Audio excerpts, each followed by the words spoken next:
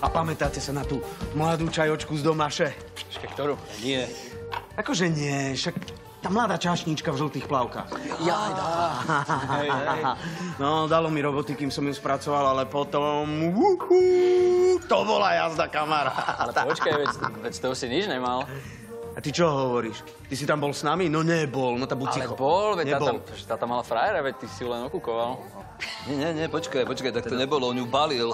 On ju balil a my sme potom museli pred tým nábuchancom zdrhať. áno, Tak to bolo. Vypenil, že sme ju okúkavali. No, možno vy ste ju okúkávali, ale ja som si ju na chvíľu aj požičal. No. Chlapci, toto poznám, tiež som raz v lete balil jednu Ideme si zahádzať čipečky, poď. Dobre.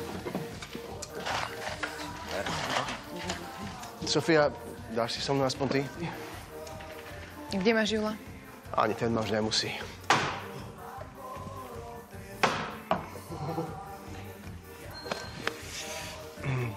Ďakujem. Maj sa pekne, ahoj. Ahoj.